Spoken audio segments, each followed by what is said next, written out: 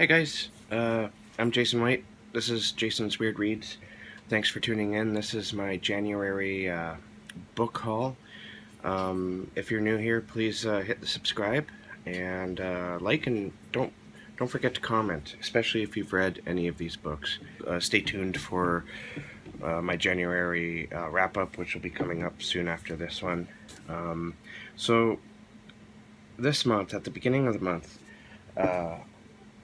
I, I can't. I, I've been seeing this book around booktube for a while. A lot of people are talking about uh, this book, and uh, so I wanted to check it out. I uh, used my Audible credit and got the the audio version, and that's uh, Scythe by Neal Shusterman. And you know what? I fell in love with this book right away. It uh, deals with some dark subject matter I'm going to talk about in the next video. And it was one of the first books where I actually jumped into the second book right away without without even thinking about it. I just downloaded it and went to town, and that's Thunderhead by Neal Shusterman. I also got the books because I don't think I don't think I'm going to be able to just read these books once, and I want to read them with my eyes, not just with my ears. And uh, look at these covers. Like, these are beautiful covers. They're simple, and yet the color schemes are brilliant. I hate this sticker. But what can you do? What can you do? Nothing much. So uh, I, I definitely recommend you checking out these books. They're young adult books, but uh, very well written. And uh, despite them being young adult books, you know, you can feel that they're young adult, but they still have some uh, depth to them that might be lacking in other young adult books. Uh, recently, for the Darkness Dwells podcast, I uh, had the opportunity to interview one of my favorite writers, and that's Steve Rasnic Tem. And to celebrate this, I uh, I went and bought some books of his that have come out recently that I haven't got. I don't have too many books by him. Steve Rasnic Tem is one of those authors that uh, he writes a lot of short stories. Like he's published over 400 short stories. That's published, not written. Published. You know, I have to. Cheers to that. He was an author that I typically, if I saw an anthology, I would get the anthology just to read his story, and I'd read the others too. But I see uh, that Steve Rasnic Tem is in there. I'm like, oh, I got to read that story. And so I got this book. We talk about this book in the interview. I'll put the link below too so that you can check it out. I invite you to please check it out because this is one of my favorites, uh, one of my favorite interviews. Uh, it lasted about an hour, the interview itself, and uh, then me and my co-host Michael, we uh, talked about the latest Halloween film that came out uh, late 2018, around Halloween time. Back to the books. Got Figures Unseen. Now this book here is a collection of short stories that Steve said during the interview that if anyone was like, um, uh, what book would you recommend me starting with in reading you? Uh, he said that this book he he uh, he put the table of contents together for it because he wanted a book to that he felt best represented him. So if anybody asked him that question, he could say, "Here, get this book." I haven't read all of it yet, but there's some stories in here I have read, and I'm looking to, uh, you know, I'm just looking to read it again or, the ones that I have again, along with the ones I haven't. I'm not a big fan of the print size, but that's okay. I also have the audiobook. also by Steve Rasnic Tem. The reason why I was talking to him, it was uh, Kate Jones from Omnium Gatherum uh, Media who contacted me, seeing if I wanted to interview any of her authors who are re having releases uh, during January. And S Steve Rasnic Tem was obviously one of them and uh, they released uh, Everything is Fine Now. And I'm a few stories into this. I'm on page 41, and I've read. They're all pretty short, short stories too, which is uh, which is good because you can just burn right through them. Wow! In page 41, and I've read six stories.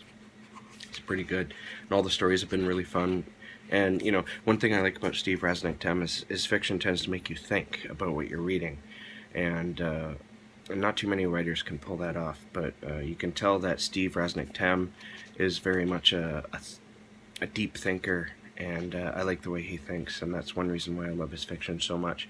If you want to know other reasons why I uh, fanboy this author, uh, check out the podcast. And of course, uh, because of my uh, uh, read along that I'm scheduling for March the 1st, that's the Wheel of Time. Now, I've had a copy of Wheel of Time that I held up, but that wasn't my copy, that's the library's copy.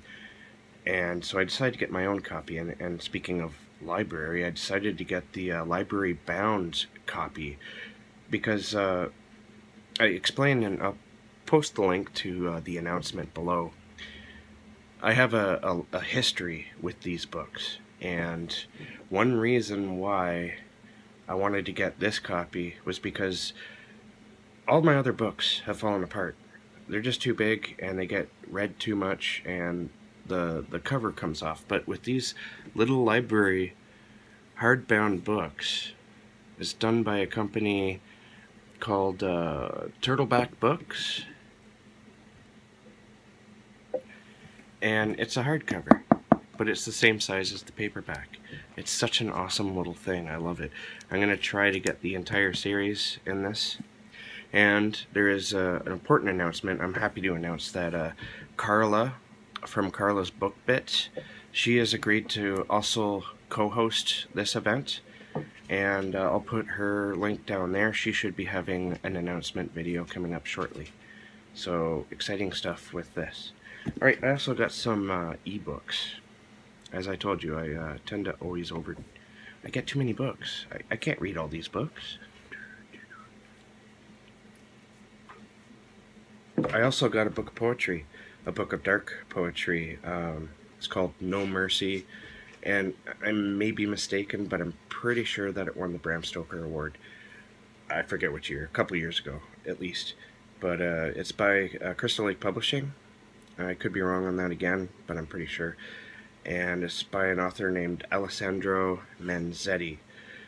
Now, I've heard a lot of good things about this poetry, and uh, and just opening it up and reading the first poem, I find out that a lot of the poems are actually dedicated to uh, Janis Joplin, so that's interesting. Um, I also got The Lottery and Other Stories by Shirley Jackson, and uh, I got that for the uh, uh the readathon that's happening during the month of February for for Ladies of Horror. The Ladies of Horror and uh, Hey Little Thrifter, Alex at Over Hey Little Thrifter are hosting for uh, uh, you know the month of February, which is uh, Women in Horror Month, and it's also Black History Month, which is really cool. And last, but certainly not least, well, speaking of person of color, here's uh, something right here. I, I got the entire box set, um, the trilogy for uh, Lilith Brood by Octavia Butler. This was actually a deal. It was like $2, and I've been wanting to read these books for a long time. And I've been wanting to read Octavia Butler for a long time. I just never get around to it. So I saw this uh, uh, on my BookBub notification. I saw that uh, she was releasing the the entire trilogy for like a dollar ninety nine. I ate that up. I just you know take my money.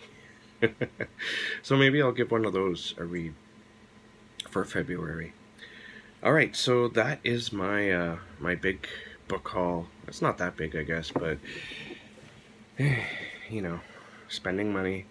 Anyways, uh, thank you for watching. Um, as I said before, please uh, subscribe, comment, and like, and keep being creative, and we will see you in the very next bookish video.